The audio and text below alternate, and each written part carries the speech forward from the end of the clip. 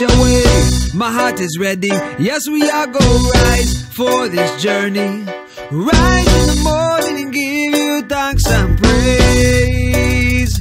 Almighty One, my heart is ready. Yes, we are go rise for this journey. Rise in the morning and give you thanks and praise.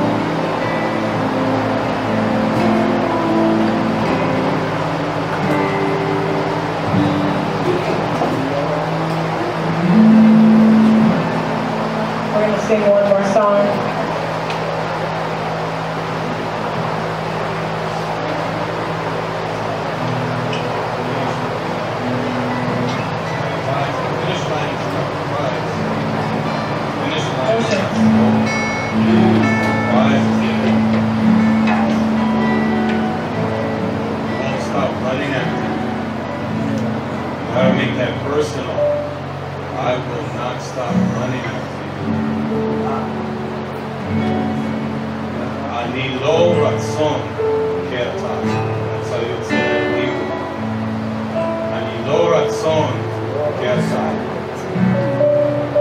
Someone has a melody for that, sing it.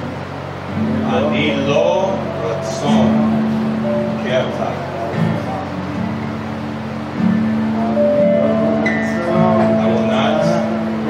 Stop running to you. I will not stop running after you. I will run in all your ways. Anilo ratzon kerta.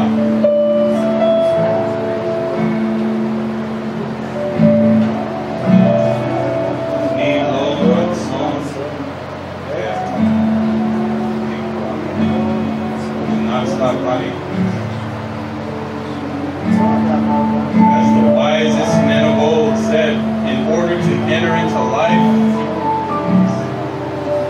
Go through the trials and tribulations of life.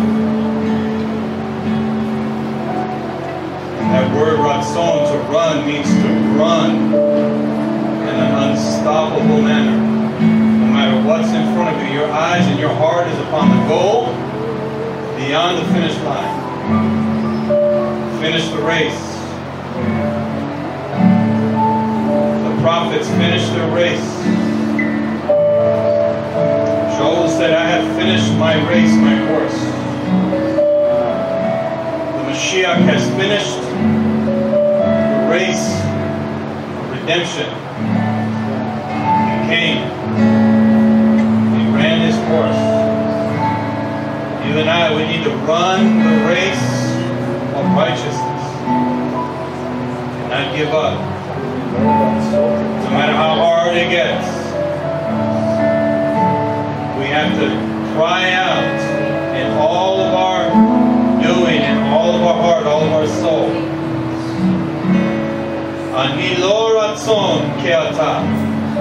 I will not stop running after you because he gave you and I the invitation to come.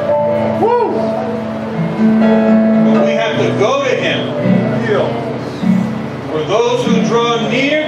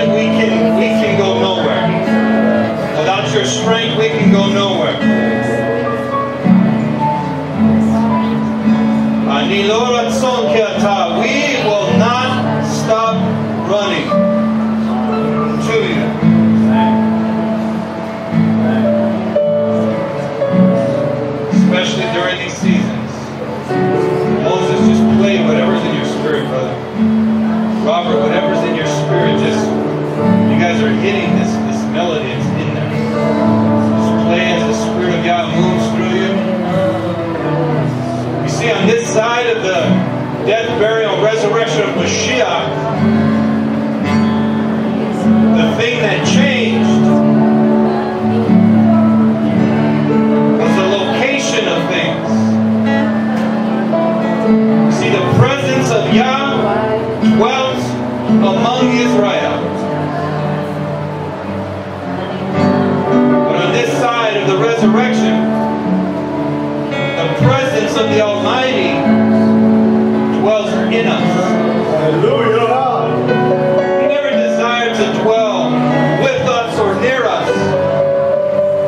desire was to dwell in you. Ah.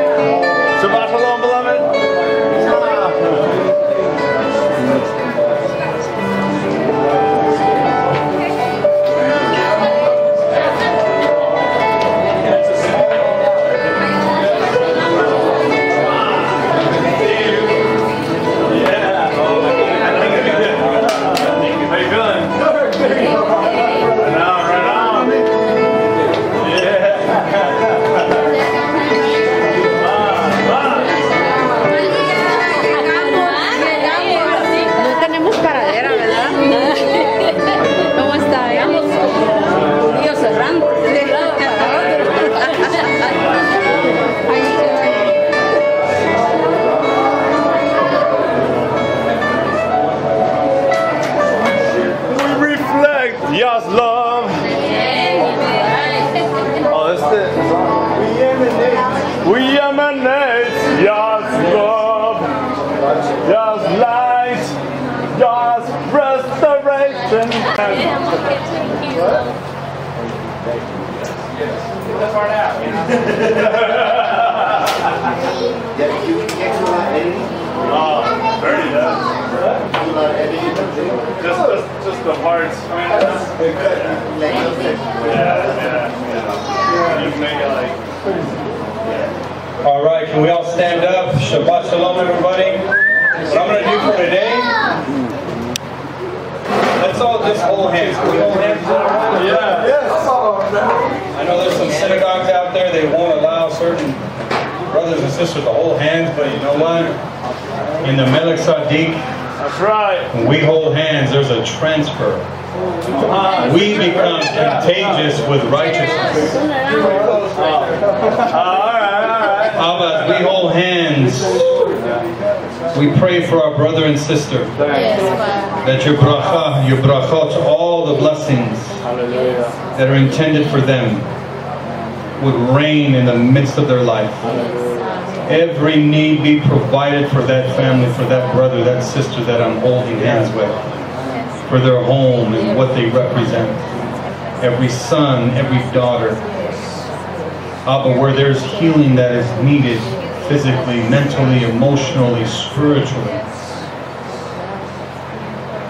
relational, fathers, mothers, sons, daughters, husbands, wives, grandparents, grandsons, granddaughters. We pray for complete healing. In physical struggles, Abba, we ask that you would touch us all where we need it. I speak to your bones, that your bones are filled with beauty and filled with life. Every organ in your body is beautiful. Tiferet. The Tiferet of Yahuwah engulfs even the organs of your body. That Your blood flows with the rhythm of life. The life of Elohim flows through our bloodstream, permeating every red cell, every white cell.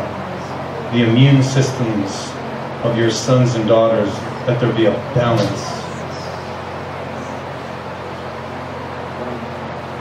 Let numbness be removed from arms and legs, ankles and feet. Let all forms of stress and anxiety be lifted right now. Right now.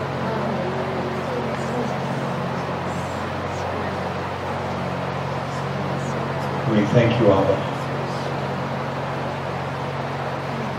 Because you are filled with chesed and rachamim towards your people. We thank you, Abba. Toda Rabbah. Thank you so much. Shabbat Shalom. Shabbat shalom. Hallelujah. Hallelujah. You may have a seat. No, stay standing. We're going to sound the shofar. Come on. Are we doing announcements right now or after? After? I think there's some that think we're on uh, Australian time. They come like way at the end. We're going to sound the shofar and uh, Bernie, can you do the honor?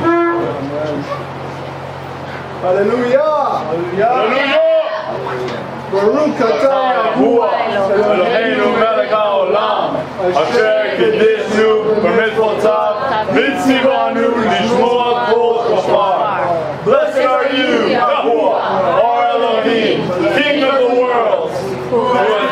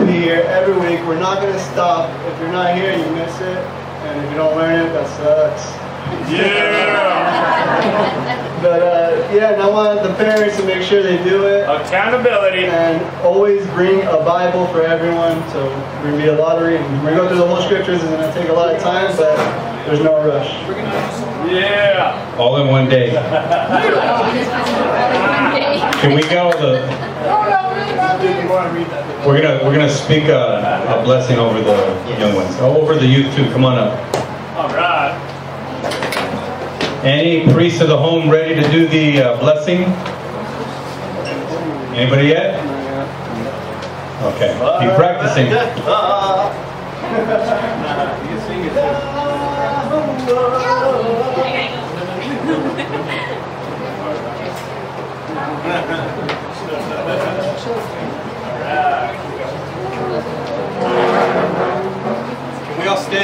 Stretch our hands towards our sons and our daughters?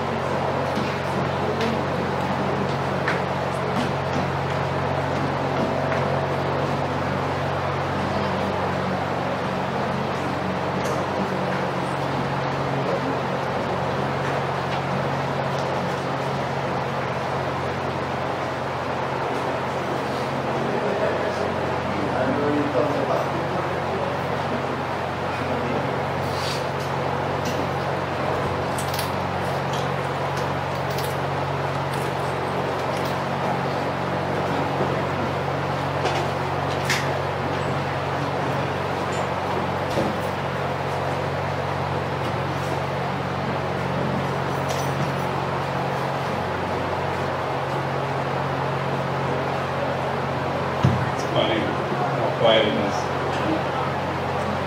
I can tell you guys are like watching. Shabbat shalom, everyone. Shabbat Shalom.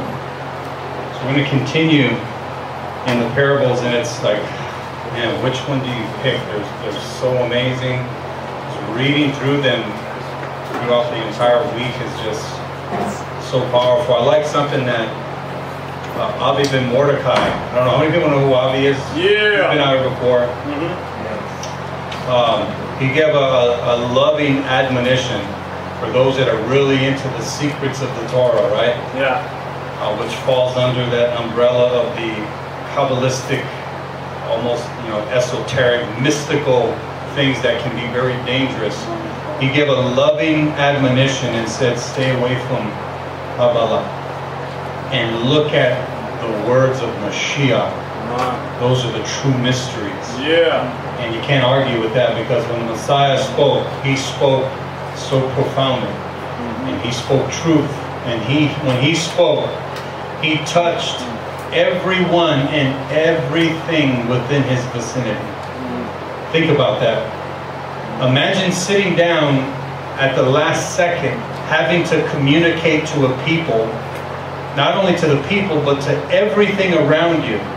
And you're able to do that within a few words, and it impacts everything around you. That's the way the Mashiach spoke. Ah. He didn't use a PowerPoint, he didn't use a Word doc. He is the Word. Ah. He is the standard that we have to live up to, not anybody else. We don't have to live up to the standard of this person or that person.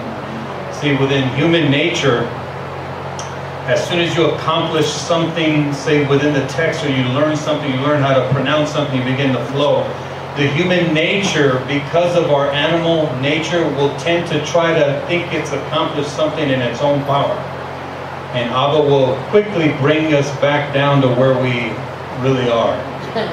We need to understand that the, the treasures within the Torah are so profound and so powerful that it is just mind blowing. I actually put this up just uh, today. I wanted to look at this verse in Yirmiyahu. Jeremiah 6:16 says this, Thus says Yahweh, Stand in the ways and see, and ask for the old paths. Old paths is where we're going to be having Sukkot, by the way.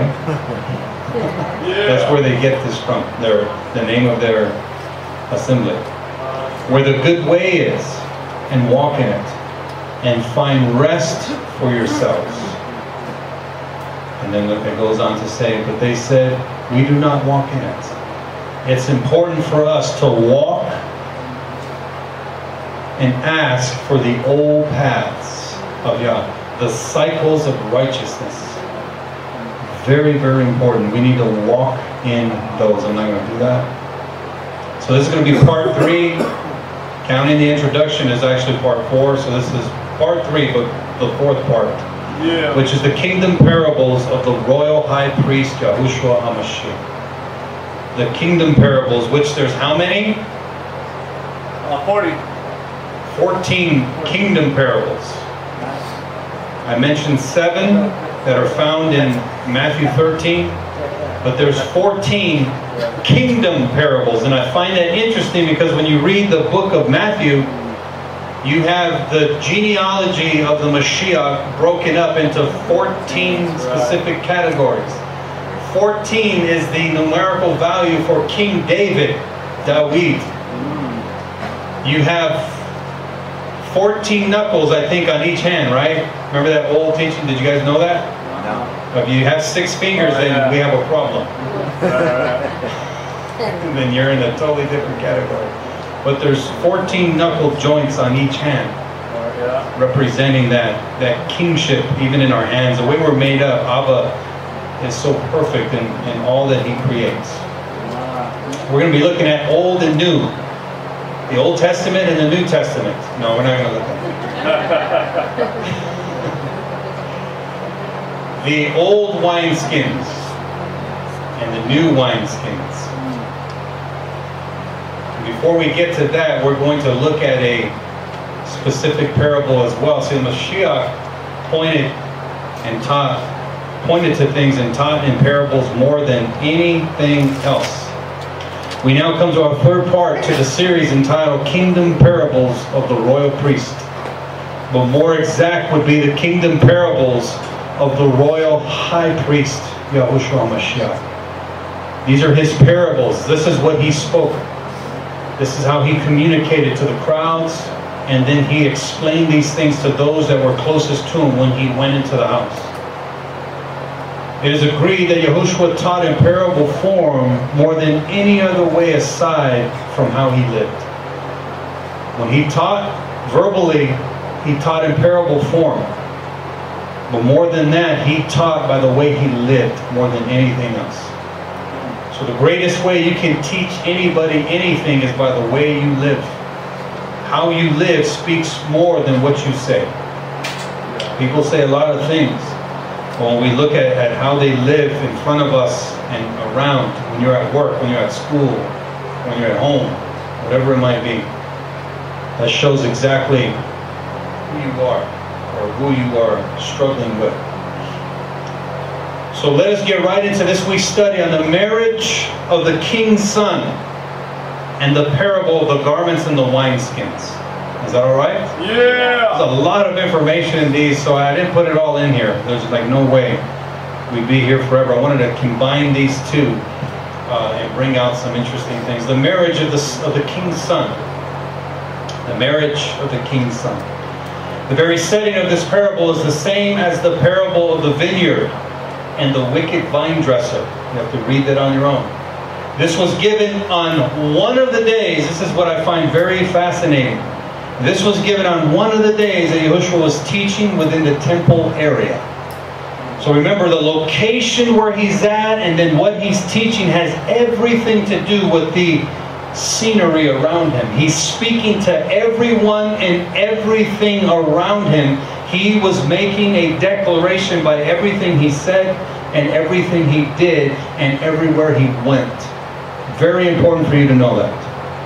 As we will see in the reading, when an individual or group reject the eternal divine power's invitation, listen, to come into kingdom standing, then there comes judgment from the divine eternal power. If we reject the invitation, then what we will be left with is judgment upon our life. We don't want that. When the invitation is given, we better take that invite and not just show up. You, you know what? You ever give? Uh, I don't know if I be clear about this. You you there's someone's party coming up, and you pass out like certain invites to certain individuals, and all of a sudden, someone you don't even know, they just show up. They sit down, and they were they weren't even given an invite, and then they're walking around in your home or apartment or whatever. You don't even know who that is. You got a stranger in your home. You're like, what the heck? Who is this? Somebody say, no, everybody can come to my house. All of a sudden, who knows what happened? We have to use wisdom, you know, not just say, hey, hey, come on in. You need to know who's coming in your home nowadays. Right. Maybe 50, 60 years ago was a totally different thing. Today it's, it's different now. Now you need to know who's who. But it's, it's similar to this right here. Someone who rejects the invitation, but yet they want to show up, and they have no idea what the entire event is about, the banquet. They just come on in, they're going to stick out like a sore thumb, which will not be a good thing that we're going to wind up looking at when we connect it to the parable. We saw this since the book of Breshit. Interesting, in Matthew, we will notice the focus is on the king's son and in his marriage, while in Luke, the focus is on the supper itself. So when you look at this parable, you see in the book of Matthew, it's Matthew is focusing on the king's son and the marriage specifically. And then when you look at, at Luke, when Luke begins to write about this parable, Luke is emphasizing the actual banquet supper and some details with that. They're both talking about the same thing. It's just that they're both looking at it from different angles, and yet it all goes together. So we need to understand that with the Gospels or the Besorots, right? Matthew, Mark, Luke, and then John, they're speaking, when you see similar things transpiring, being taught, they're just looking at these events from different angles. Doesn't mean that, ah, here's a flaw, so we need to throw that book out. That's not, that has nothing to do with it. They're recording from a different angle and from their perspective of this truth that transpired. So you have that within the scriptures, and we can never forget that because then people will end up starting to throw stuff out and begin to replace things and begin to make up their own religion. That's dangerous. So we have a side-by-side revelation of importance to this banquet feast with the Son and his marriage. This is what we're going to be looking at briefly. So beginning without any hesitation. Matthew 22 verse 1. You can find this there. And Yahushua responded and spoke to them again by parables. Notice this. Since we started this, you probably realize that more than anything else now, that when the Mashiach began to teach, he, he was speaking mainly in parable, parabolic language. The kingdom of the heavens is like a man, a sovereign. And I'm going to be pausing in between to expound on these things. This like a man or a sovereign is a man of foundational power. So he's saying the kingdom of heaven is like a man, a specific man who has foundational power. When you look at the words and you take it back to Greek and, and so on and so forth. Can you guys see it? Oh. Thank you, Johnny. So this man of foundational power who made a wedding feast for his son, and he sent out his servants to call those who were invited to the wedding feast. When in the history of Israel, and this is a question, when in the history of Israel was there any type of proposal in marriage to the nation of Israel? When in the history of Israel was there a proposal type of thing? Back in right? At Mount Sinai. The only place we see this transpiring is at Mount Sinai in Exodus 19 to 20. We have the proposal that is given by Yah himself in Exodus Shemot 19 verse 5, which says this, but there's something so fascinating with the language of Israel from the beginning and then at the end, which says this, if you will obey my voice and guard my covenant, then you will be a segula, a special treasure. Then in Shemot 19.6 verse 7, 7 and 8 in the Tanakh, we have the agreement to this very proposal of the covenant, but all they say is this, Naaseh, we will do. There's no Venishma yet. It's just Naaseh, right there. That's all they say. They said, oh, we'll do it. We'll do what you said. But the only problem with this is that Israel never agreed to the Vanishma part of the covenant, which is vital. And therefore, the birth of breaking covenant emerged because of what they said. In order for one to truly be doing what covenant Torah says, there must be the vanishma and the hearing part of it. You must engage in the hearing part of what he's saying, not just say, I'll do that. There must be something that goes in and transpires on the inside of us in order for us to truly do something. Otherwise, it's just mechanics. That's why Shema Yisrael, the importance of hearing. Hearing, some of the first miracles that the Mashiach did was cause people to hear again, to see again. We need to understand he was making a declaration with everything he did. We must shma Yisrael because this deals with the inner man of the heart, where true circumcision takes place.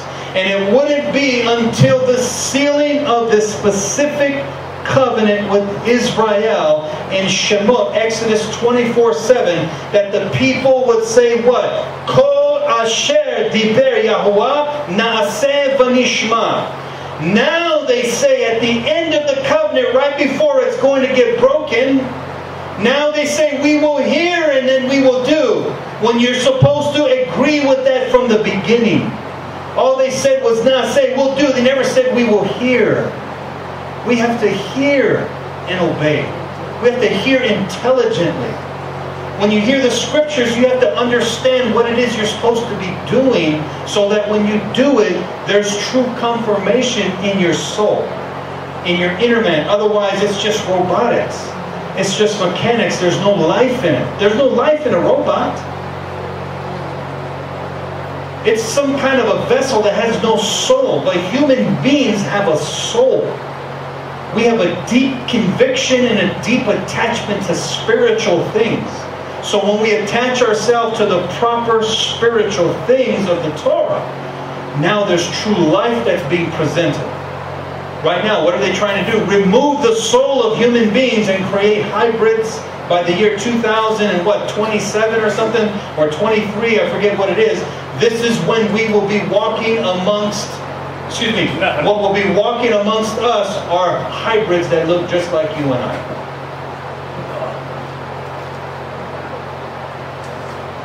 In Shemot 19, the Hebrew word Venishma is missing.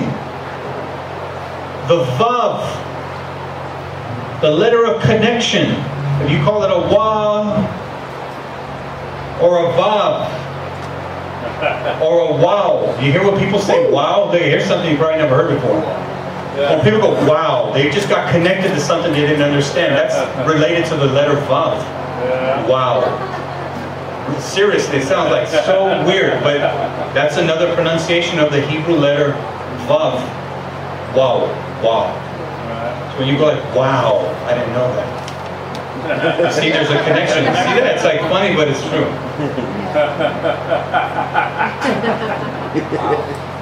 Wow. So the vav of Vanishma connects the hearing to the doing. This segula, say segula, Segula. is like the pearl of great price, also found in Matthew 13, one of the kingdom parables. A segula, a treasured possession, is in the field. And the man, the individual, purchases the whole field for the sake of that special treasure. Yup. So he purchases the whole field. That means he can do what he wants with the field. Yeah. That doesn't mean that everything in it is his special treasure. Israel is called the Segula. He's speaking to Israel, you shall be to me a Segula, a special treasure, Israel. That means the rest of the world. That doesn't mean those are his special treasures. You have to come into the special treasure. Out from the world in order to be part of that precious treasure. Because the rest of the world is going to be dug up, beat up, pulled up, ripped up, and burned up. Yeah. We don't want to be outside of the segula. We want to be in it. We want to be part of it. Yahweh never made covenant with any other nation in the world, and that won't go over well everywhere. Well, God so loved the world, He sure did. For Elohim so loved the field, the land, the, the land, wherever Israel's at. He loves the whole land. Why? Because His special treasure's in it. He writes His name in the land. People translate that as earth to make it like a global thing, and maybe it is. But Eretz can mean, uh, mean an established land. Remember? Eretz is an established type of land. Adama is a land of soft soil that is that is can be cultivated and formed and shaped.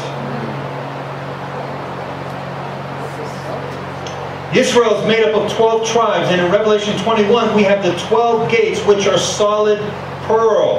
No coincidence. Pearl of great price. Solid pearl. And are named after the 12 tribes of Israel. The field is the world, and the world, all 12 tribes have been hidden until the price was paid for the world, the land, with his very blood and life, the very life of Yahushua. He purchased the land back. He paid the price. We talked about that a couple weeks ago, I think. But as the scripture goes on, the invitation is given, but the scripture says this in this parable, but they would not come to this invitation. The invitation is given, but rejection of the invite is rejection of the one given it. If you reject the invitation and say, you know what, I'll wait until I'm on my deathbed, and at my last breath, forgive me, that's not going to work. There's not going to be a drop of conviction there. You're going to be doing that out of nothing but fear and trembling, no deep conviction of the heart, no circumcision, no mulot, no circumcision in your heart. None. Milah. Brit milah halev, which is that circumcision of the heart. None. Zero. Zero. Matthew 22, 4, again he sent out other servants saying, Say to those who are invited, See, I have prepared my dinner. Listen, my oxen and fatted calf, cattle are slaughtered and everything is ready. So the dinner, the feasts are ready. Are you coming or will you reject the invitation? You know, we're going to have Yom Kippur. I'm going to do a teaching on Yom Kippur and I have a subtitle I'll give you guys. You want to hear it? Yeah. That's kind of weird. And it came when I was thinking about our daughter Ashley, who had to book her flight to come up. So the title is this Everyone has a booked flight. Mm. Everyone's flight is booked. How do we know that? You go to the book of Revelation, the books are open. You're booked. You are in ah. one of the books. Yeah. We all have a booked flight, but not everyone's going to the same place. Just a little disclaimer for what's coming up. Yahweh has always risen up prophets to a rebellious nation. So what we have hidden here is the history of Israel up to the coming of Yahushua HaMashiach in the parables. Matthew 15, 24, Yahushua declares why he came. He said, I only come for the prostituting house of Israel. She's been prostituting. When you read the book of Ezekiel, specifically chapter 8, verse 1, all the way to 19, that's the first actual part of that book. And there's a gentleman that actually wrote a book on that. I didn't realize, I'm trying to remember the name, I can't remember the name. He wrote a book on that, and it's really fascinating the evidence that is there. It is the first part of that library of Ezekiel, and it, it speaks about the corruption of the nation of Israel and the temple corruption of that time. I heard that it was the last scroll, the 13th scroll, that the first part of Ezekiel. Yeah, verse chapter 1 all the way through To seven, to 7 is, is actually the end part.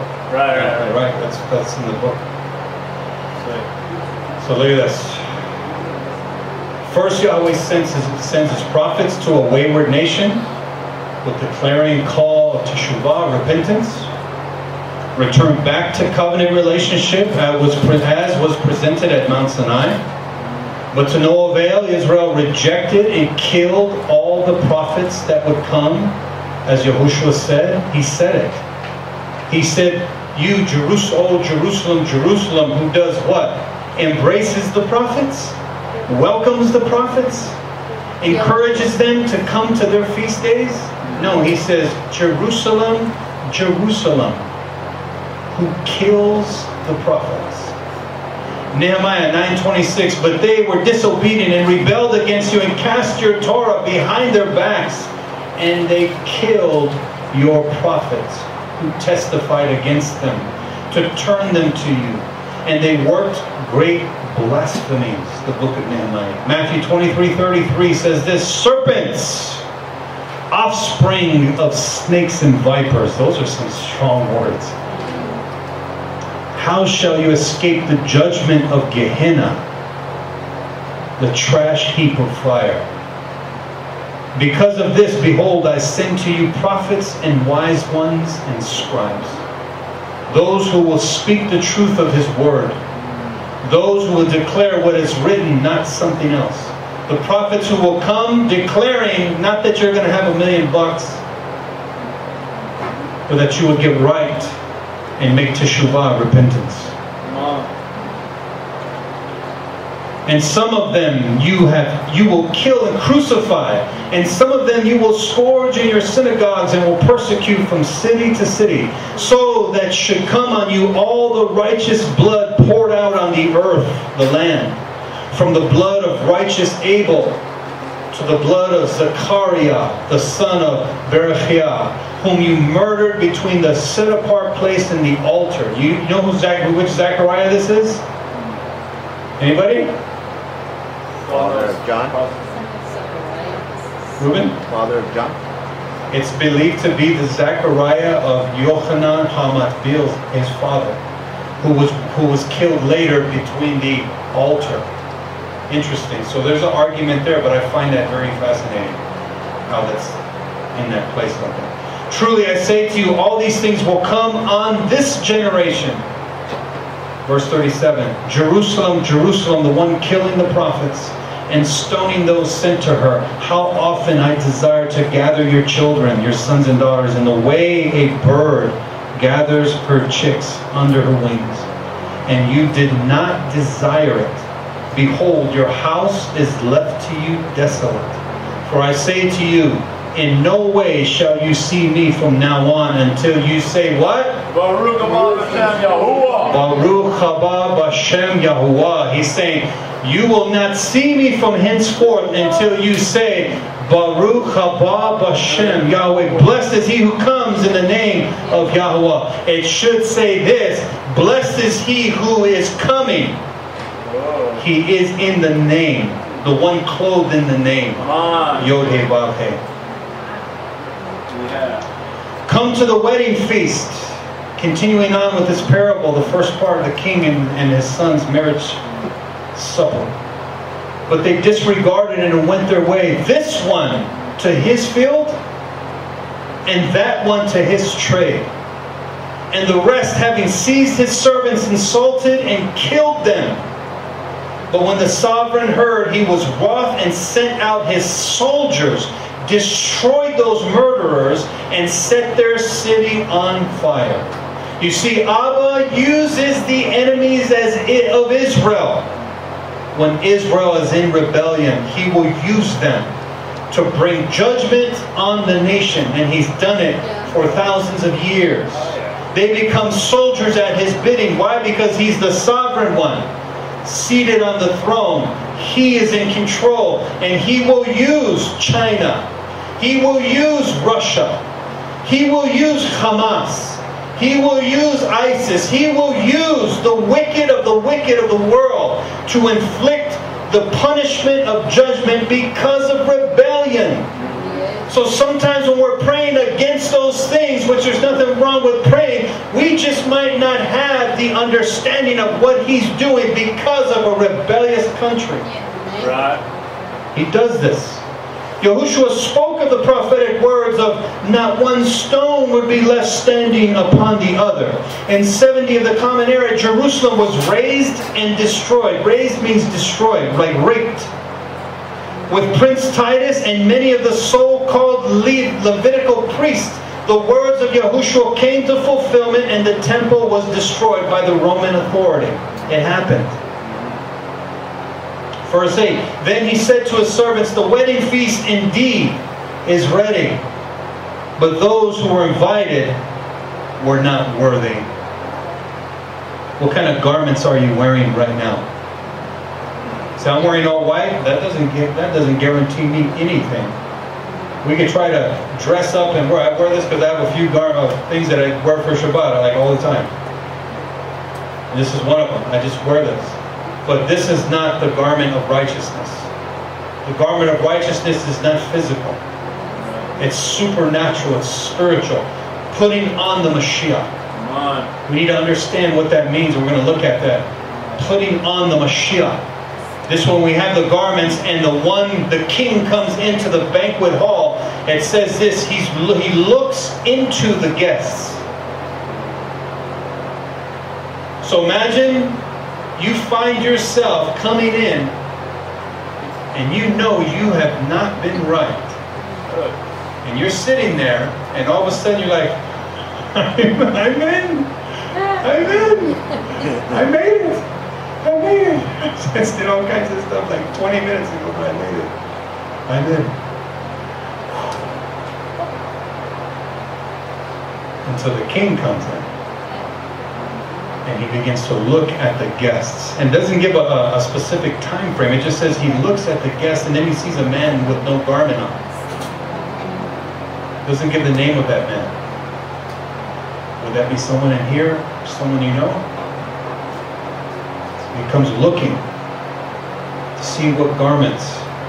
And this is why you have the words of the Mashiach also. I think it's in Luke where he says, There will be those sitting in the kingdom with Abraham, Isaac, and Jacob who will be snatched out and thrown into outer darkness. I thought once you're in, you're in. Heavy words of the Mashiach. Yeah. This is why we need to examine ourselves to make sure we are right. Yes. I'm trying to remember it. I think it might be Luke 18 or something. I might be wrong. Someone finds it's. Remember the uh, the panel we had last Sukkot? Are there any curses in the covenant? Well, well, yes. Where at? It's in there. You got to read it. So it's in, it's in there. It's somewhere in there. That'd be a good panel, huh? Hey, where does it say that? Oh, it's in the Bible. Where at? Between those books that are there, somewhere in there. I heard someone talking about it. But let me know when you find it, because I was trying to think of the verse right now, and it doesn't come to my mind right off the bat. It's written in my heart somewhere. I have to search for it. See, we got to do that inner search in all of us. And those servants went out into the street corners and gathered all whom they found. You have some translations that say both evil and good. Bad translation. Well, I give you, I'm going to give you the actual wording here.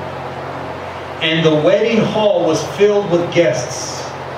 And when the sovereign came into view the guests, the word in there means he was looking inside of the guests. He saw there a man who had not put on a wedding garment. And he said to him, Friend, Chaver, Chavarim, friends, right? How did you come in here? Not having a wedding garment. How did you get in here? And the scripture says he was speechless. Why? He knew he was standing before the king. Excuse me, he knew he was, yeah, he was standing before the king. Because when the king walks in, everyone stands. He's coming in. How are you standing today? Shaul said, having done all to stand, he didn't say sit, he said stand. Amut, where we get the Amidah from, like the Amidah prayer, powerful prayer. In other words, having done all to stand, pray that you will still sustain the strength and power to continue to stand. Don't give up. Scripture says he was speechless. Then the sovereign said to the servants, Bind him hand and foot. Take him away and throw him out into outer darkness. There shall be weeping and gnashing of teeth. For many are called and few are chosen. Many are called to the banquet, but few will be chosen. The few are those who have the garments of righteousness. The garments of the Mashiach. Many are going to come. We really cannot comprehend that. You got the smartest theologians dissecting these parables. And they're assuming their personal convictions in many areas. But in all reality, we don't really comprehend what that's going to look like.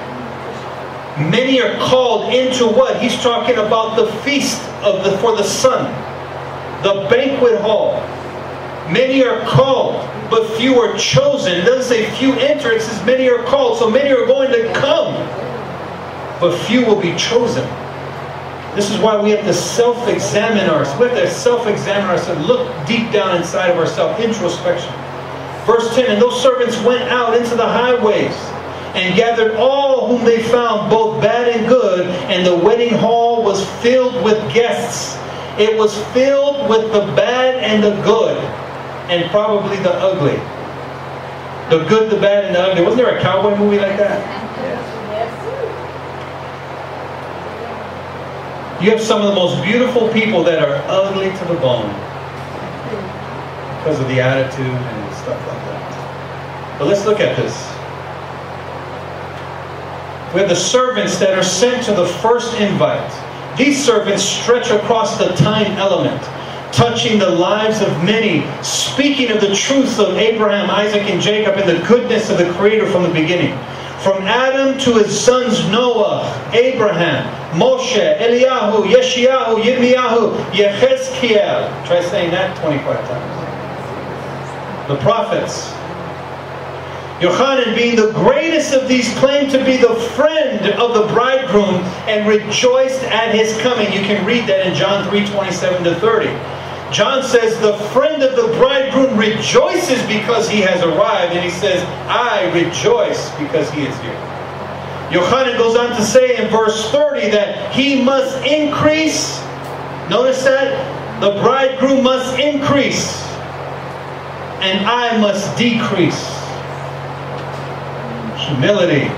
Powerful declaration from Israel's true Aaronic high priest who was declared, who has declared the decreasing of this priesthood in order for the Mashiach to accomplish the work of Tzedekah. He's saying this, John was the actual true high priest of the uh-huh. time.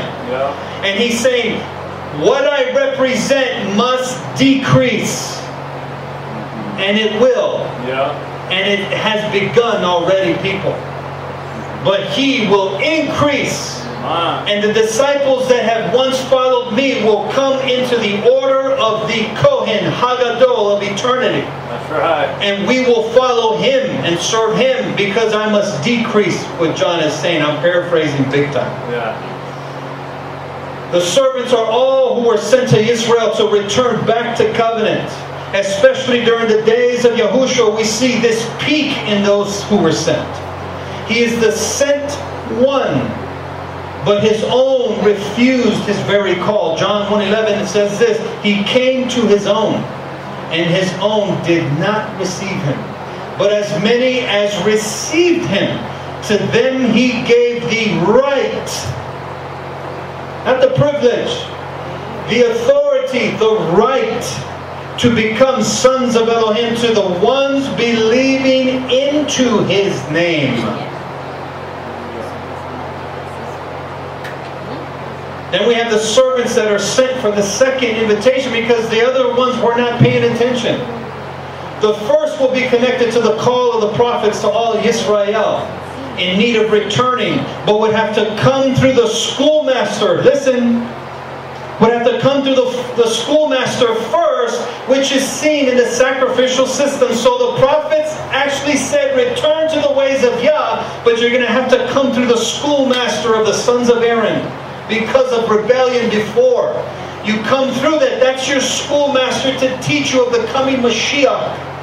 You won't be able to return to him yet because we rebelled and Abba set up a school system, not of Hillel and Shammai, but of a Aaronic priesthood order of things. And he says you're going to have to come through that schoolmaster to learn what it means to return to Yah, so that becomes as an old garment.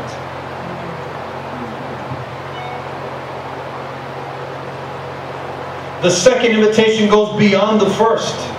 The oxen and fatted calf have been killed.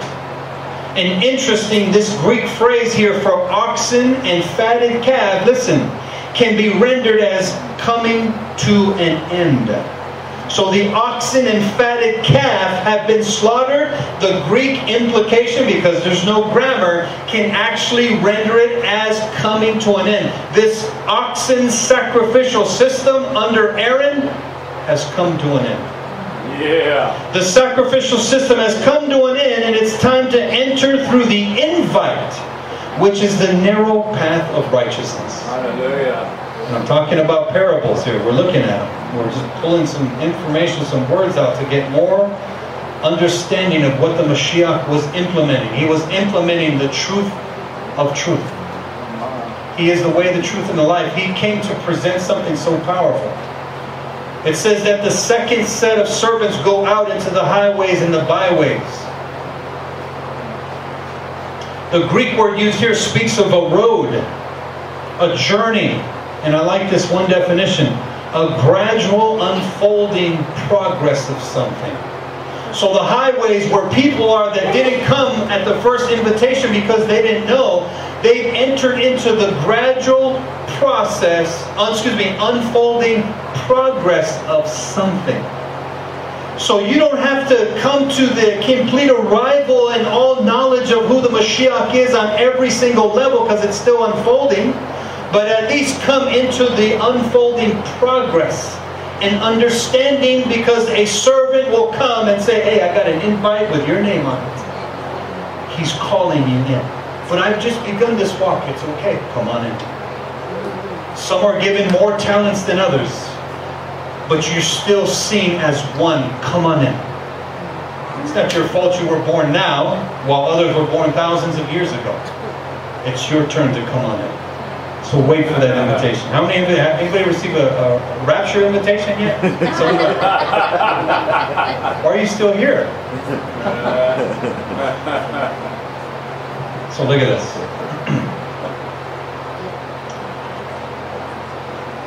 The journey, whether physical, mental, or spiritual, depends on you or your.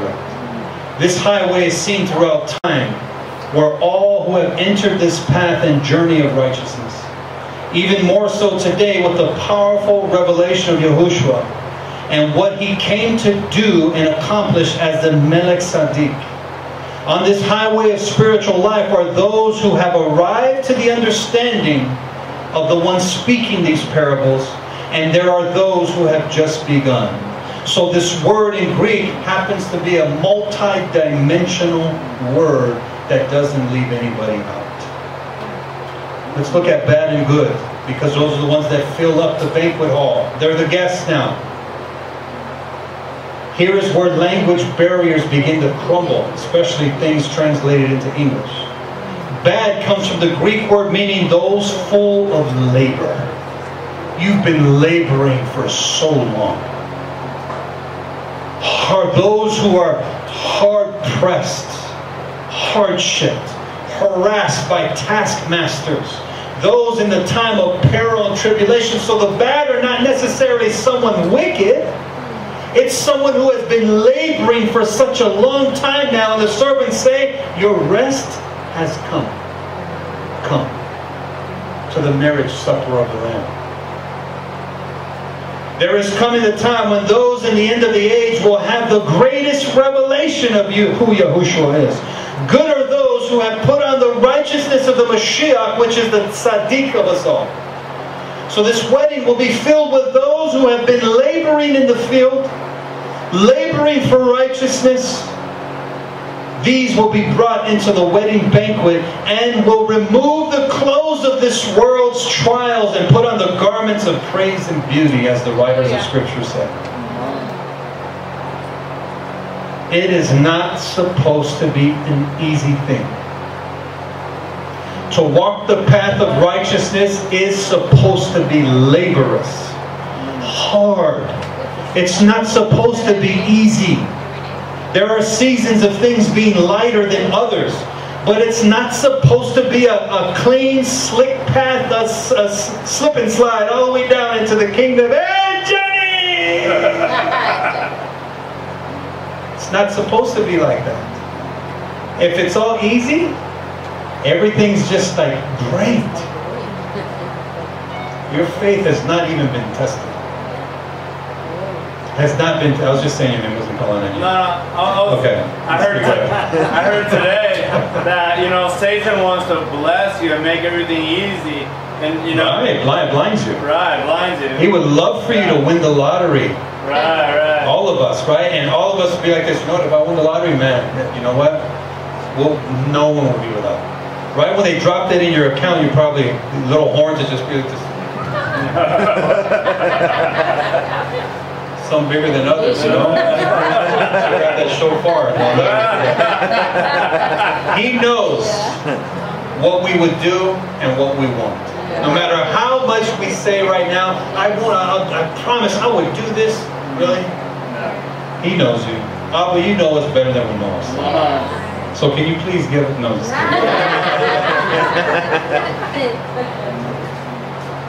So look at this. There's coming the time when those in the end of the age will have the greatest revelation of the Mashiach. Every one of us. We're having a greater and greater revelation. We have the furnishings of this banquet. This word is self-evident. The Greek word here means to be full, filled up, and expanded. So the guests of the banquet hall will be the furnishings of the banquet hall. They will be the ones that fill up. They are the furnishings of the banquet hall. We will be part of this banquet. The Hebrew word is melo, as in melo hagoim. I find that so interesting. The Mashiach uses this word specifically.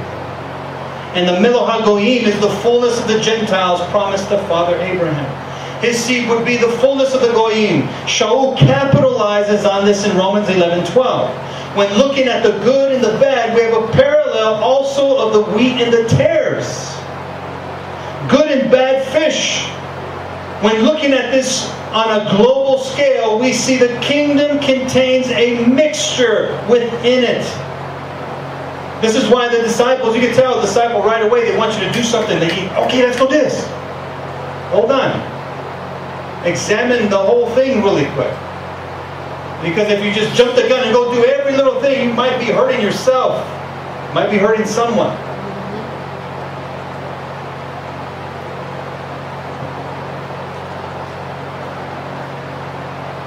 The disciples said, pull them up. Let's just start digging. Let's rip them out right now. They were zealous. Let's tare those tares out of there. All right, go ahead and do it. Right when they run to the field, the Mashiach is going to be waiting for them. Then they're going to stop, turn around. Wait, which one's the tear? You have to wait till the harvest comes. And you'll be able to tell by the fruit that is being borne, that will be the wheat. The tares will be doing nothing but bearing pride, standing straight up, full of itself. the man without the wedding garment. The time came for the king to come into the banquet hall to see the guests, and a man without the wedding garments was in there. This type of looking at the guests was a deep look into the guests, and a man in the midst without the garments of righteousness. And who is this unnamed man? It's not Clark Kent. The wedding garment is the key, so we must look into this wedding garment, which will lead us into the next part of the study. The wedding garment. I want you guys to say this with me. Mishter beged. It's actually a feast garment, a feast mantle, a specific type of garment that identifies you as one who practices what they are saying. A feast garment. You've been marked with Sukkot. You've been marked with Yom Teruah. You've been marked with Shavuot. Yeah. You've been marked with Pesach, with Yom HaBikurim, the first fruits. Yeah. You've been marked with the Moedim, Yom HaKippurim. All of them. Yeah. There is another definition of beged, say beged. Again. It's spelled the same way, pronounced the same way as garment, so the context will determine the definition of, of and translation, which means betrayal or unfaithfulness. So there's a, those who reject the invitation, who reject the Moedim, will put on the garment that looks like the other ones, maybe, but in all reality, it's a garment of betrayal. The scripture says this man came without wedding garments. This means he had other garments contrary to the marriage supper. He didn't come in naked. It just says he didn't come with the wedding garments. That means he had some other type of garments of his own choosing. He had his own feast days put on and his own time and way of doing things, and it didn't match up with the master's plan. The marriage supper of the Lamb is one that contains tzaddiks who have been clothed. Sorry, John, I didn't mean that. Just kidding. This man had garments of betrayal on instead of garments of the feast. And we could say he had garments of a golden calf system on. A golden calf speaks of betrayal. But there is another definition to this phrase in Hebrew for this man who didn't have wedding garments, and it's labush hat- hatuna, the clothing garments of the husband. He did not have the garments of the husband on. So we see this parable is not only about Israel's history and rebellion as servants are sent, but also of a future time when the Mashiach would come. And there are three major garments one must put on. We need to note this down. So note this down. The garments of salvation. Yes, Robert. Um, I have two things. Go ahead. Number one, I would like to see the last item. Okay. All right. I'll do it right now. Just undo my water. Thank you so much. You're welcome. Okay, and I believe that scripture you're thinking about with uh, Abraham, Oh, Isaac, yes. and Jacob. Yes. Uh, Matthew chapter 8, um, 10 through 12. Can you read that for us? Yeah. Uh, when Yahushua heard it, he marveled and said to them that followed, Verily I say unto you, I have not found so great faith. No, not in Israel. He's referring to the or the what's his face? Centurion. Yeah. Uh, and I say unto you that many shall come from the east and west, and shall sit down with Abraham and Isaac and Jacob in the kingdom of heaven, but the children of the kingdom shall be cast out into outer darkness. There shall be weeping and gnashing of teeth. That's some heavy words. Yeah. I'm not going to even try to expound on that. We've had a discussion on that before, and that is a, a very heavy, heavy discussion. Seasonal garment might be faith. faithfulness. Yes, faithfulness. We should put that up here. Mark that down. Another garment, faithfulness. The garment of faithfulness, the garments of salvation, the garment of praise, the garment of righteousness. These scriptures declare these things.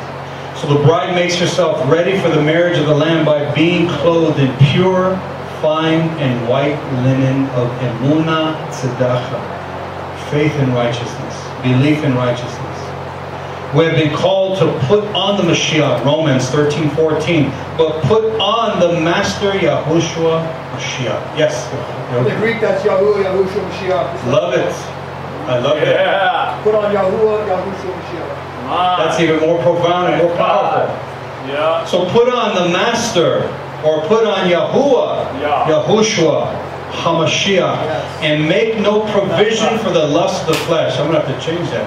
Thank you, brother. Thank all you guys. Okay. For as many of you as were immersed into the Mashiach have put on the Mashiach. Being immersed into the Mashiach. So who is the Messiah? Someone tell me, who is the Mashiach?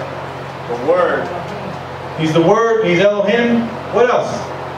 So that means you have to put on the Word. You have to put on Elohim. What else? Who, who is the Mashiach? Righteous. You have to put on righteousness. Say it again.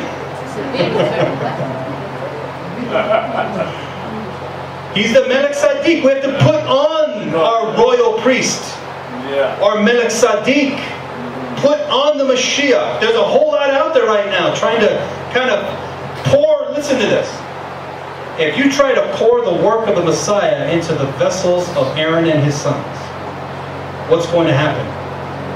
Blow up. They won't. They cannot contain it. I'm hinting. For as many of you as were immersed into the Mashiach have put on the Mashiach.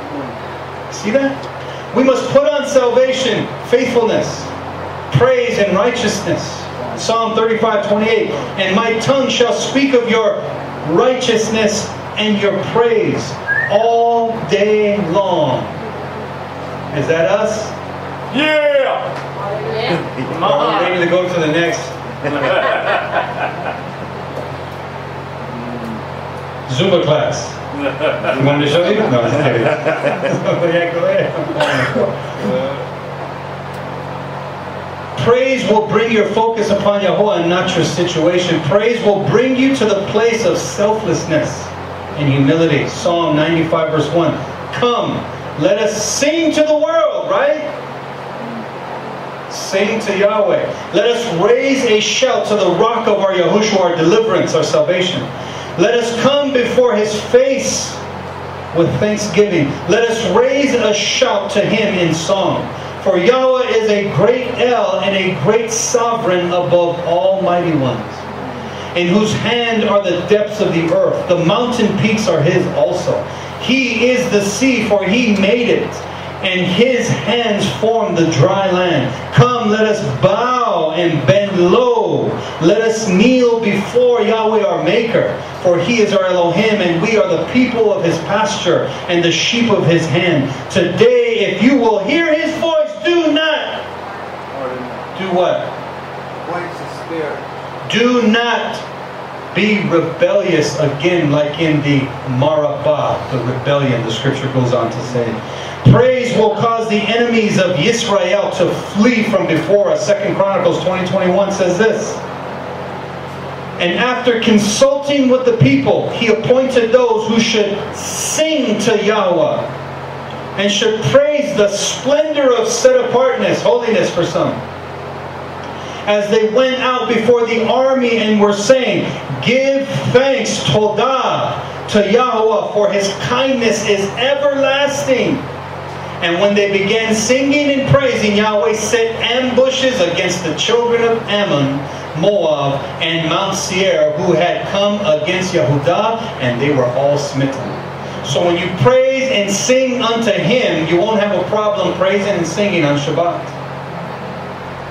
If you sing unto the world all week long and then right before you come to Shabbat, you better believe your spirit is tainted. We should be singing unto Him. And I'm not saying be in a corner and all you're doing is, you know. But I am saying we need to sing unto Him the praises of who Yah is. Praise evicts all negativity, it evicts it and complaining. The Father hates it. Psalm 103, verse 1. Bless Yahweh, all my soul, and all that is within me. Bless his set apart name. Bless Yahweh, all my being, and do not forget all his dealings, who forgives all your crookedness, who heals all your diseases, who redeems your life from destruction, who crowns you with kindness and compassion, who satisfies your desire with good.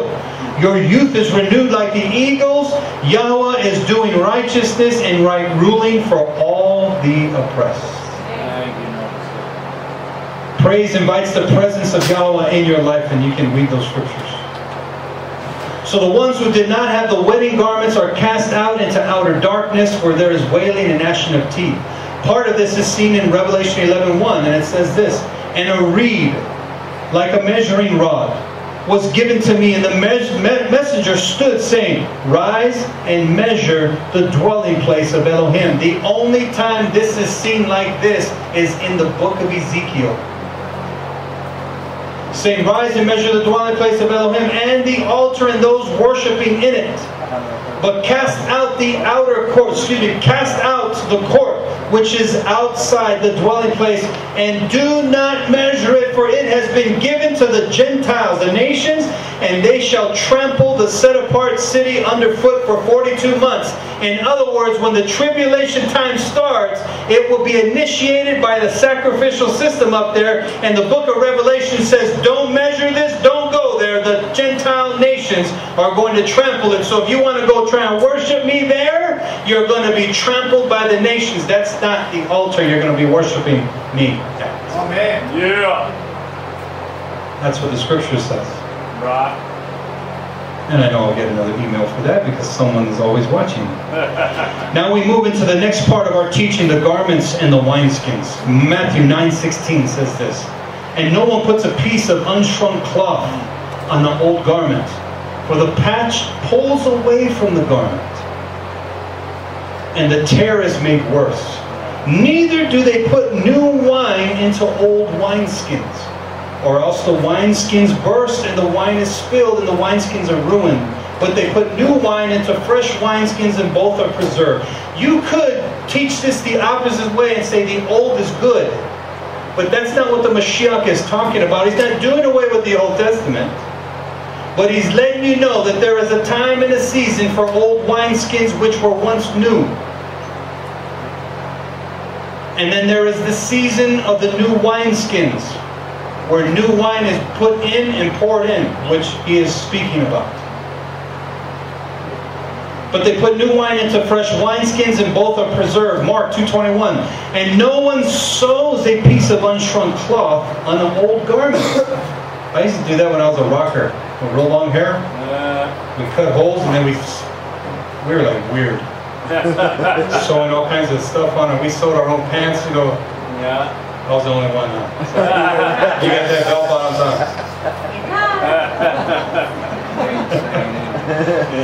behave, Kurt. Behave, Kurt. Kurt, behave. You too, Mike. So no one sews a piece of unshrunk cloth on an old garment, otherwise the renewed piece will pull away from the old. You see, the new piece does not want to be attached to the old garments. They don't fit anymore. You probably know where I'm going, and you're right. And the tear is made worse. And no one puts new wine into old wineskins, otherwise the new wine bursts the wineskins. And the wine runs out, and the wineskins are ruined. But new wine is put is to be put into fresh wineskins. Luke 5:36 to 39. Scripture reading is good, right? So we can understand and hear before we expound on this and then we close and we go home. Right? Uh-huh. And he also spoke a parable to them. No one puts a piece from a fresh garment on an old one. Otherwise, the fresh one makes a tear, and also the piece that was taken out of the fresh one does not match the old. Powerful. And no one puts new wine into old wineskins, otherwise, the new wine shall burst the wineskins and run out, and the wineskins shall be ruined. But new wine is put into fresh wineskins, and both are preserved. And no one having drunk old wine immediately desires new wine, for he says the old is better. Be careful what you've been drinking. There was a time for the old wine, and people get used to that, and that's all they want. Oh, I don't like that new brand. I never heard of that. What is that? It's a little more pure than Manichev. It's ah, I'll stick with the Manichev. The same thing is today. You have people pouring you a glass of wine saying, just drink this old wine, it's older.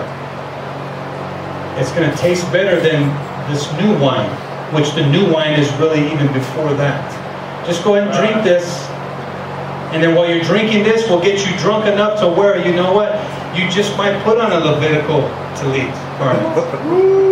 Because you're not you're not paying attention to what's going on. Let, us get you drunk enough to where you'll just believe anything we say and then support everything we're doing, and we'll even let you look like a Levite, but you have no authority. We're, we're the bet in. You will do what we say, especially if you're drunk. No good.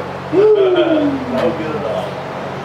The parable is preceded with a question in regards to Yohanan's disciples and the Pharisees fasting. Remember, you'll see in the scripture where it says, How come your disciples do not follow the traditions of us? The traditions of fasting, the traditions of washing of the hands, netilat daim. If you want to say that prayer, I, I do it, but it's, it's not I'm not attaching myself to rabbis. I go beyond just the hands. I say this, netilat ha-panim my face too. Netilat ha-regelim, my feet too. Netilat ha-lev, my heart too. I want wash me all, not just my hands, so I look like I'm doing something. Everything. Notice the connection between the disciples. If you read right before the parable, it's the disciples of Yochanan, John, and it says, and the Pharisees. Notice how these the disciples of John are still having some influence of the Pharisees of the time because they're grouped together saying, We're fasting. How come your disciples are not? So look at it. When did these Pharisees fast? Twice a week, all the time. Traditions. Tuesdays and Thursdays, I used to do it. Not that I was a Pharisee, but I did it because of the Orthodox school. Every Tuesday, Thursday, fasting and prayer, and then the prayers from the Siddurs, the weekly Siddurs. Uh, you, you never mind. Look at. Many times throughout the year, such as the 10 days of Av between Yom Teruah and Yom HaKippurim, Esther fasted for three days before the approach to the king. Pharisees fasted in regards to the destruction of the first temple. In Luke 18 12, it says this I fast twice a week, the Mashiach speaking a parable and I give tithes of all that I possess. And the Mashiach says, you know what? All because your heart is far gone. So of course the Mashiach was speaking a parable here, but I believe, I truly believe fasting is important. We should fast and pray. Why? Fasting suppresses the fleshly nature. So if you struggle with lust or cravings of any kind, not when you people hear lust, oh, automatically sexual. No, it's not always that. You can push away from any table in your life. It's not just the lustful table. Push away from that and stay away from that table. Push away from the tables of the appetites of the flesh. Fast from those things that you do need. Stay away from the things you don't need. See that? You fast to break the power of flesh over your life. You fast to hear from the Almighty. When you fast, it's you're dying. Did you know that? When you fast and pray, you're actually your flesh is dying. You're you're you're robbing your flesh of water and food. Therefore, your flesh is beginning to die quicker. So your flesh, your spirit man is saying, yes, yes, yes, yes, yes. A separation. So spiritually speaking, when you fast and pray, your spirit is being detached from what? Your nephesh is being detached from the fleshly man, and you have a gap, if we can say that, in the midst of your entire being that Abba can make a deposit now. And then when you break your fast, you don't go to smorgasbord or all-you-can-eat place and pig out. You gradually feed the flesh what it needs. You don't live to eat. You just eat what you need to live. You have a lot of people, they can't wait. I want seconds and thirds and fourths and fifths. they're more they're more concerned about the food they, they're going to eat tonight than the spiritual food that will sustain them beyond that. We need to look at the spiritual table that the Mashiach has set before us. Even if we only eat one time. There was a time my family and I were only eating rice, you know, a few days out of the week. You know, we had our hard times.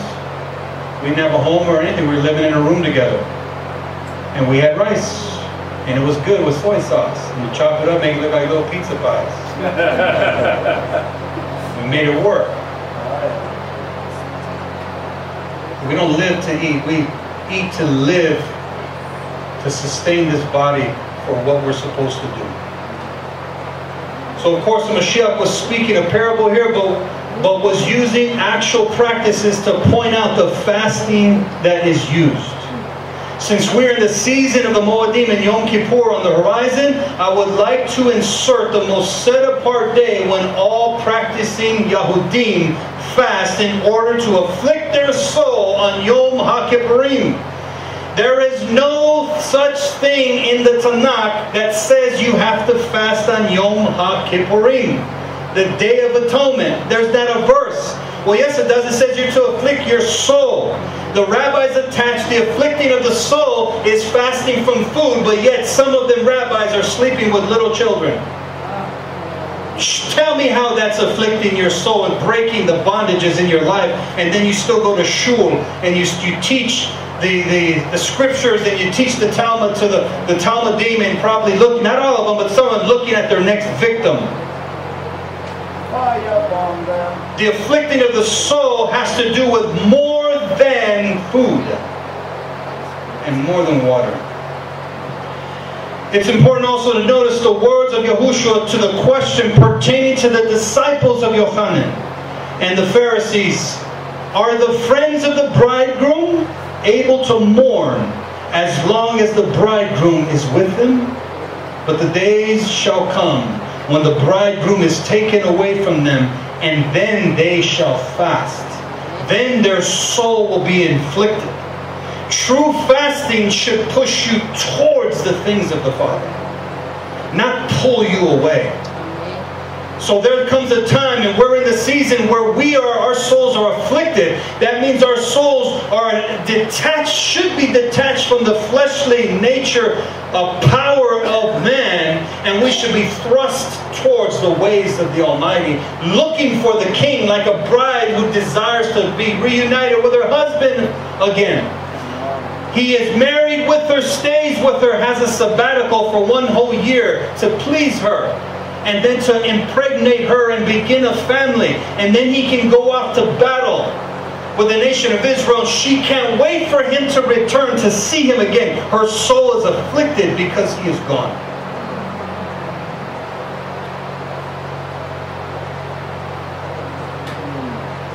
Is this helping somebody? Yeah. We will focus on the old and the new garments, the old and the new wine, the old wineskins and the new wineskins. So you might want to write some notes down.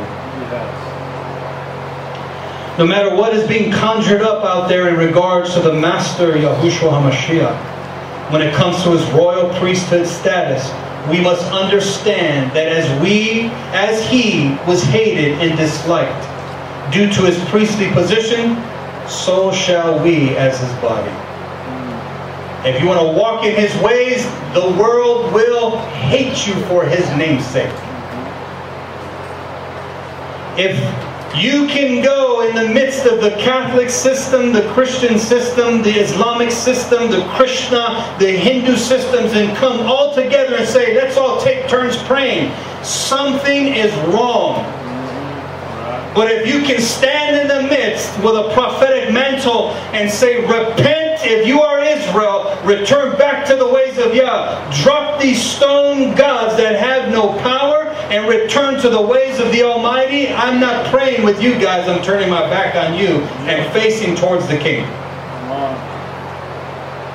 The body has the responsibility of containing the substance of Yahushua HaMashiach. And we are in a battle today over the work of the Mashiach being completed and those trying to hold on to old wineskins. If we were to think about two groups of practice when it comes to the old and new, what would come to mind? Many within Christianity would probably say the old covenant is done away with, and we have the new covenant now in Jesus. I used to say that in the church. Jesus. when I would preach. Seriously, it was a Pentecostal church if I, if I ministered. With the men's group, whatever it was, or we went to the retreats. You know, you get fired up. You know, emphasize Jesus. How many people love Jesus?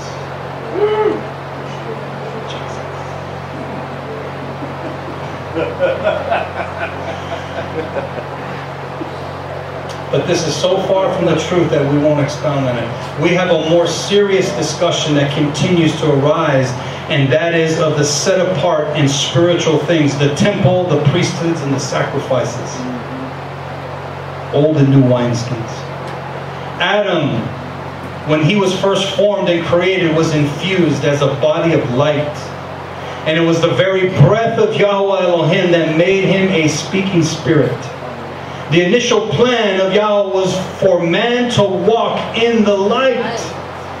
Psalm 89:15 Blessed are the people who know the festival, the festival trumpet call. They walk, O Yahweh, in the light of your face. Isaiah 2:5 O house of Yaakov, come and let us walk in the light of Yahweh. John 12:35 Yahushua therefore said to them, Yet a little while light is with you.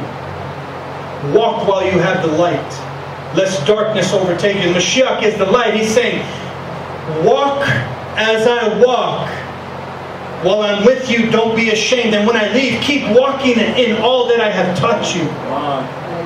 You will be burned, you will be killed, you will be sawn in two, boiled in oil, pulled apart by horses, hung upside down, crucified upside down, tortured for my name's sake. But walk as a Melech Tzaddik and don't worry about it. Ah. Easier said than done. Yeah. I'd be fighting tooth and nail. I'd probably get almost cannibalistic on them, rip them apart. No, I wouldn't. Come on, Israel did it. Doesn't mean we have to do it. Ephesians 5 8. For you were once darkness, but now you are light in the Master. Walk as children of light.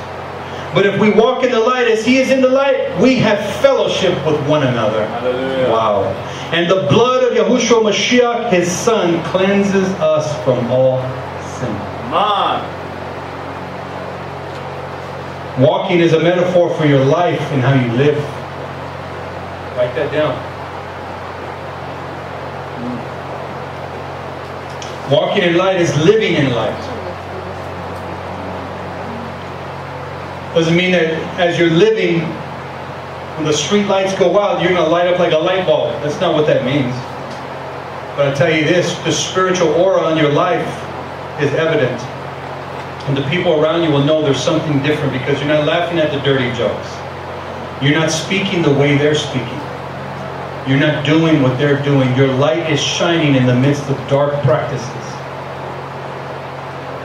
This is what has always been intended since the creation of Adam. Adam went from a body of ore, light. We've looked at this in uh, uh, Torah portion Bereshit in detail. He was created in the body of light. And then he went from a body of light to a body of ore. Ore, ore, they're both the same in sound, but different. Here's light and here's flesh. That's the word for flesh. After the fall, you see this word come into play for the first time. After the fall. So Adam was covered in ore after the fall. So those skins that Abba put on them was not the first sacrificial lamb. As, that does not say that at all. Many say, yeah, the first sacrifice God did in the garden. No, he didn't. It doesn't say that. This is a mystical, very powerful thing that's happening in Genesis. Yeah. It was a descent to the lowest state. So let's look at these words of Yahushua from its Hebrew origin. Here's what the Mashiach would have said from right to left, and I'll start right here.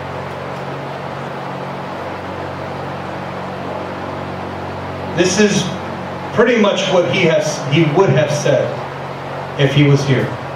Ein Adam meshim matzlit chade- chadasha al shimla balaki yinatech miluya min ha shimla. I want to go back up here.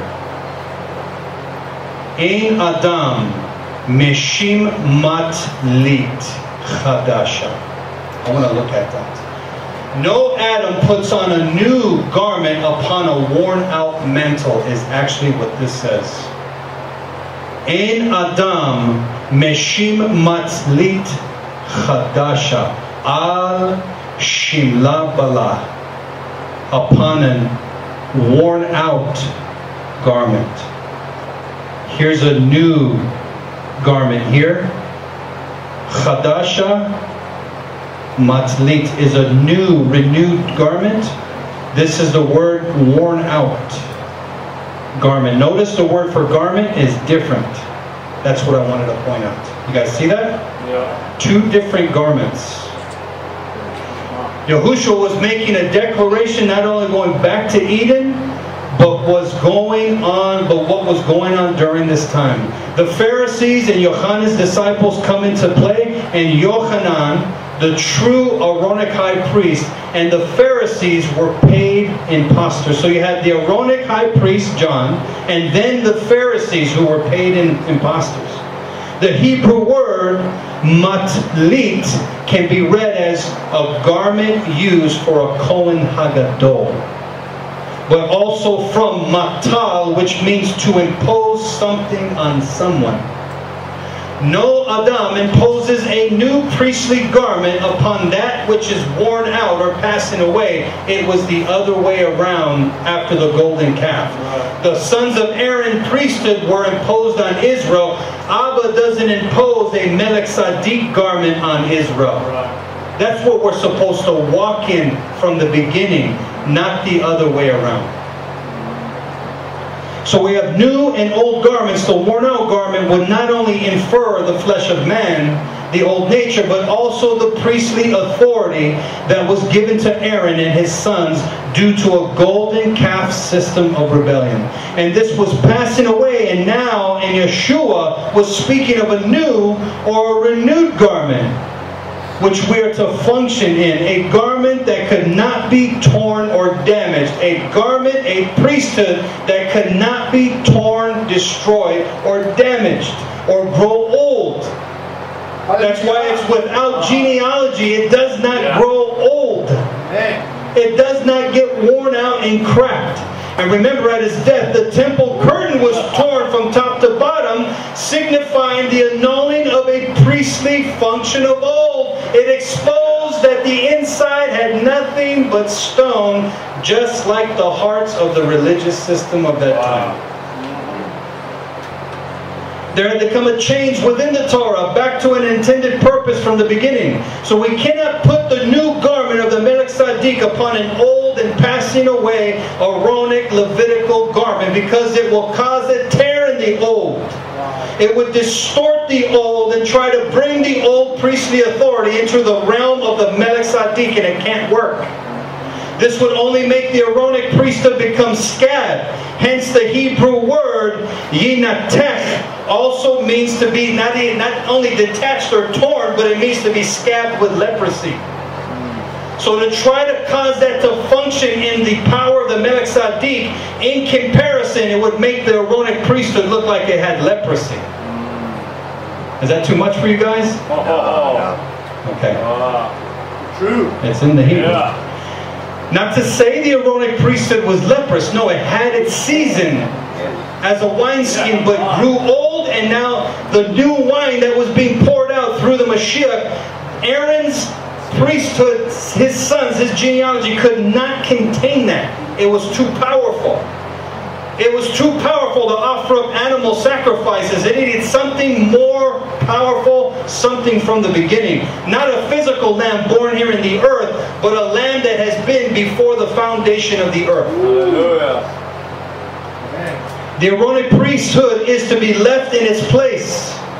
But today many are trying to put the new garment of the Melech Tzaddik upon the worn out garment of Aaron. Al Shimla Bala. This Hebrew word for worn out is found in the second scroll in Ezekiel 23:43 in regards to the temple in Jerusalem being a whore. Go figure that out. That is intense. Yeah. The temple system and the priesthood had become worn out due to adultery and idolatrous behavior in the porches.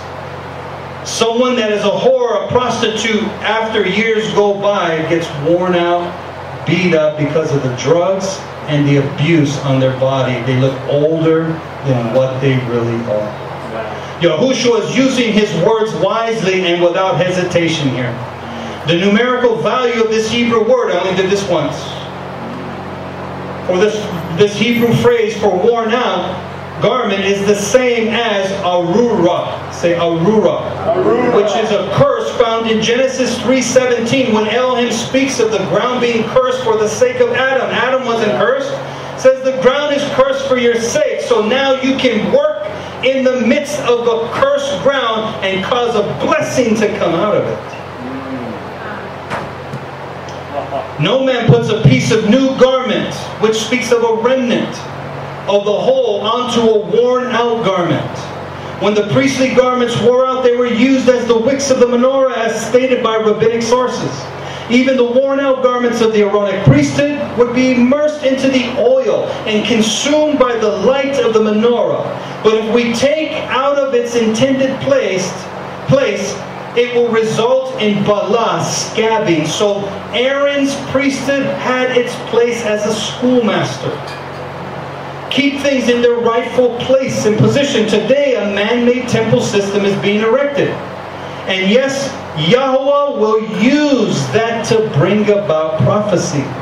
But it doesn't mean it is his heart for us to follow it. He used empires and religious systems of men to bring about prophecy. This system is an old garment. When Solomon built the temple, the Shekinah dwelled in the temple, but not in the priesthood or the people. Oh. Wow. Even the, the Talmud, I'm not teaching the Talmud, but I've read things in from the Talmud. The Talmud even says the Shekinah dwelt among the people in the temple, never in them. Not even in Aaron.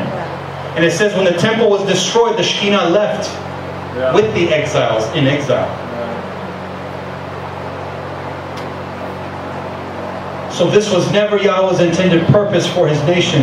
In Shemot 25, 8, the scripture says this, Ve'asu li mikdash, ve'shakanti betocham. And they shall make him for me a sanctuary, and I will dwell inside of them. That's the ah. literal translation. I will dwell inside of them. So even with the of the Mishkan, he was still teaching us of his desire to dwell in us, not in a tent. What do we want to build up another brick? Look at the, the altar they have in the temple. It's made of red bricks. That's a straight up Nimrod altar. It is a Nimrod altar. I'm speaking to the camera. The, the Temple Institute made a Nimrod altar, and everybody's all excited. The altar, according to Scripture, is made of unhewn stone. That's hewn out stone, perfected cement in there, and the horns on it. Whatever. I'm not going to that. That's a boring party.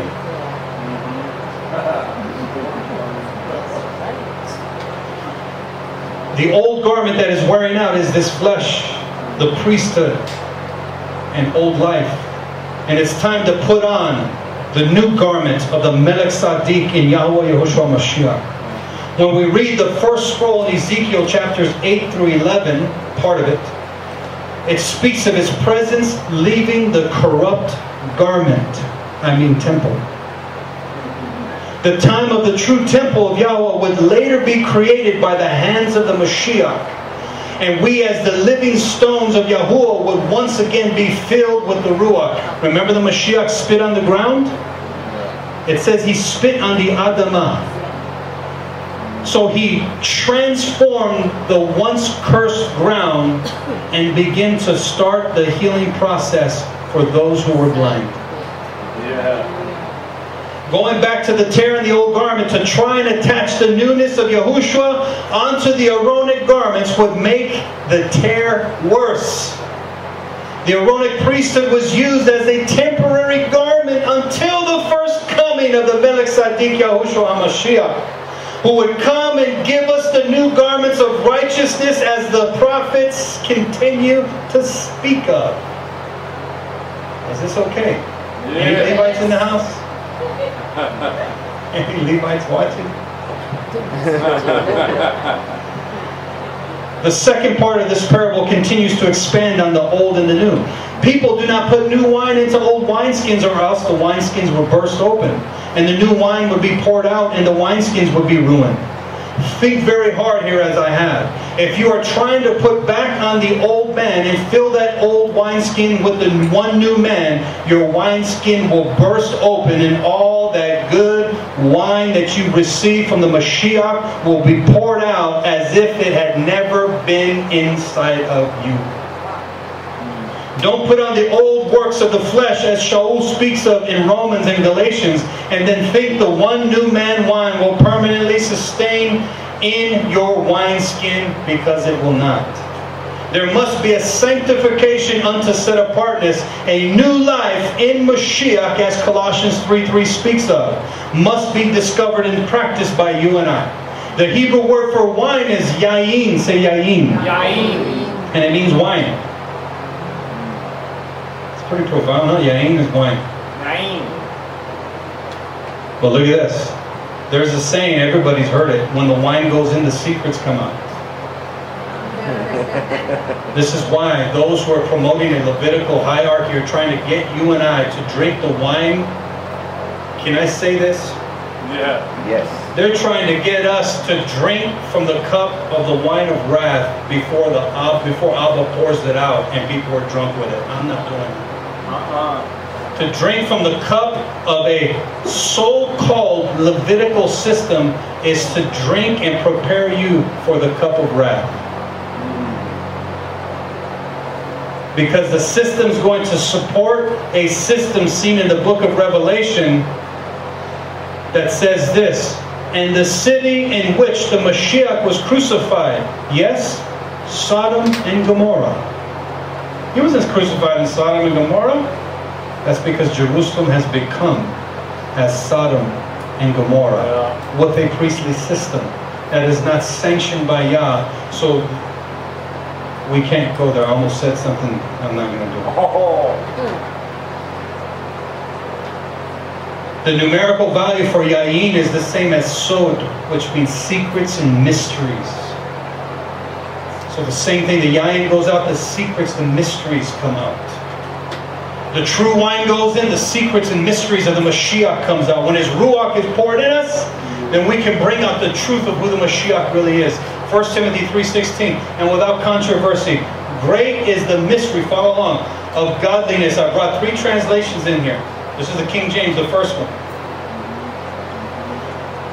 God was manifest in the flesh, justified in the spirit, seen of angels, preached unto the Gentiles, believed on in the world, received up into glory. From the Hebrew Roots version, truly great is the divine mystery of righteousness, which was revealed in the flesh, was justified in the spirit, was seen by cherubs, was proclaimed among the nations, was believed on in the world, was taken up in glory. The Institute for Scripture Research Translation. And beyond all question, the secret of reverence is great. Who was revealed, reverence was revealed in the flesh, declared as tzedek, righteous in the spirit, was seen by messengers, was proclaimed among the nations, was believed on in the world, was taken up in esteem.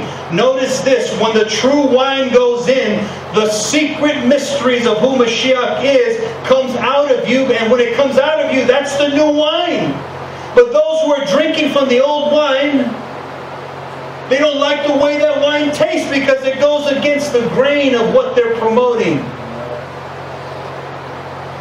Your garment of righteousness in Mashiach doesn't fit the passing away garment of Aaron and his sons, which has passed away, which many have already made, and they're trying to create and conjure up again clothing for Levites.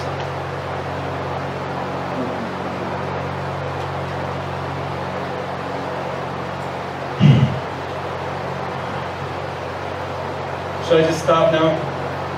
It's going to get worse.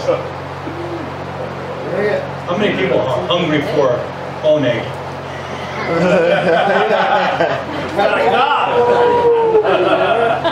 was gonna say the word. The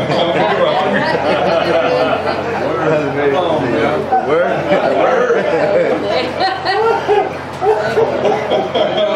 for, hungry for the word. Seriously, I'm not even reading. I'm just gonna go home. all this Shabbat Shalom, let's get out of here. I'm almost done. Oh, that was funny. I needed that. I'm, I'm here already. I'm not moving.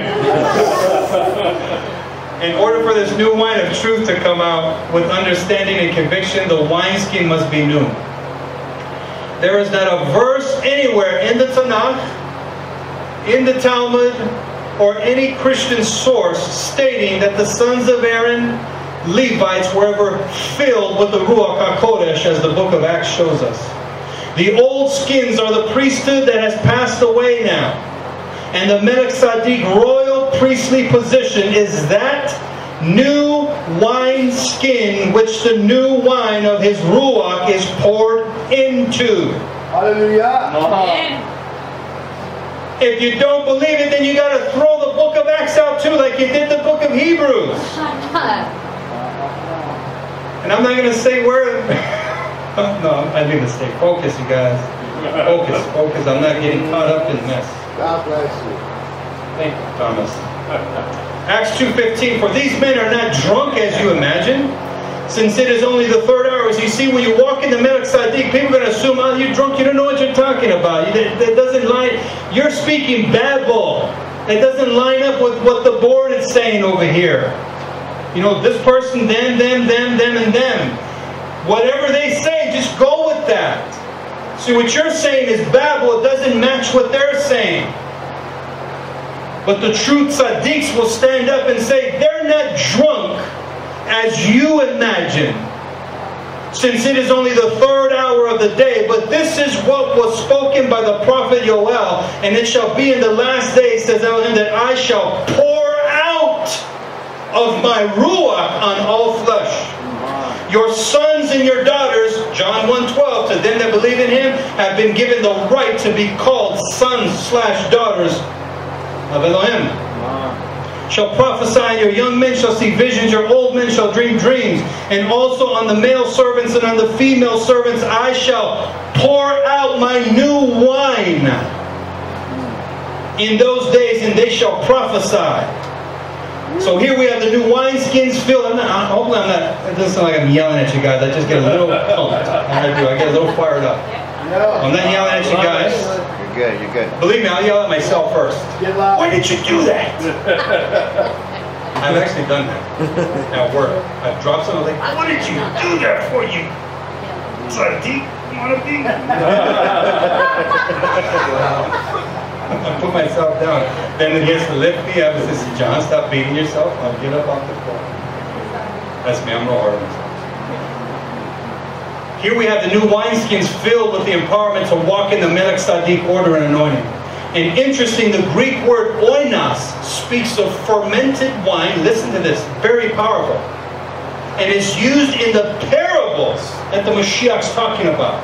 And then in Acts, which Yahushua was pointing to in his parables, uses the phrase new wine, which is a change in the language and dimension.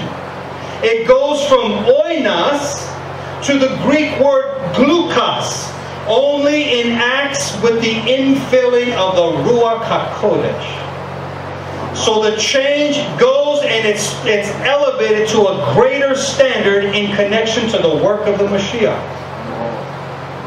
The new garment is the mantle and anointing for Melech service in the world, not behind a man-made temple wall, and the new wine poured into new wineskins are you and I. We are new ah. wine skins in which His Spirit is poured into, in which the garments of righteousness, Aaron and them, not to not to belittle. Some people are bashing Aaron, like to bash Aaron. And they did a they did righteous things in the eyes of Yah as a schoolmaster system to point us to the greater good in Mashiach. But now those wine skins, if we were to try to pull those out, they're cracked. They had their expanding season for 1500 years.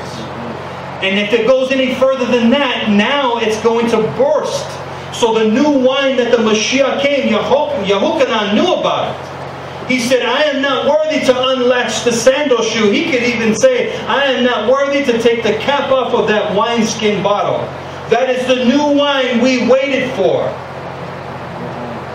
We can't contain that, and John is greater than all of Abraham and all of Moshe, all of them, remember? Right. There has not risen to a greater one that comes from the womb than John the Baptizer. Mm-hmm. Except for he who is least in the Malchut Hashamayim, the kingdom of heaven. The Melech Tzaddik, the ones who just come in. Remember in the highways and the byways that are just coming in are greater than Yochanan in Mashiach. That is some heavy stuff. Yeah. The wineskin is Israel, which is taken from among the nations. We were the assembly in the wilderness, according to Acts 7.38, and his malchut in the earth. In Mashiach, we as a nation become Elohim's new wineskin in the earth. Israel is the new wineskin, and Elohim pours the new wine of his Ruach in us with the adoptions, the covenants of promise, the promises, the fathers, the Mashiach, and the oracles of Elohim are poured into the new wineskins. All this poured into these new wineskins, which are us. Shaul calls this old wineskin the Jews' religion, Galatians 1. Wow. In conclusion, God, this guy talks too much.